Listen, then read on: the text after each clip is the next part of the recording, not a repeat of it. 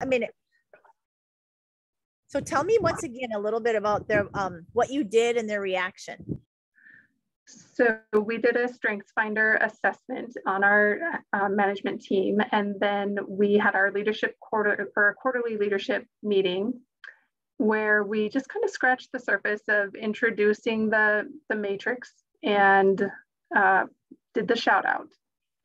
So everybody was able to vocalize what how their strength was a benefit to our team.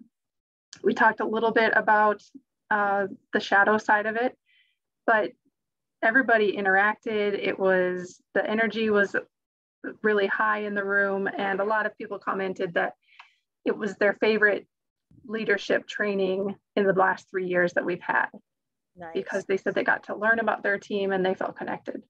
So great. How did you feel as a leader, like executing that? It was it was fun. It was inspiring to see because it, just the the session before did a, a little thing about teamwork and it was a motivational video and I thought that's fantastic, but but like how do we get there? And and i thought well this is actually a great intro because this is the how. This is the beginning of the how. Yeah i love so uh, what i'm hearing you is you're not sometimes people do that kind of stuff and expect it to change from that. And i think when you brought that to lab one day right? Didn't we talk a little bit about that? Yeah i sent it as a. Q&a yeah. And being realizing that that's just the beginning like this is going to take practice so good. So how has the um, strengths workshop bundle has that been helpful to you?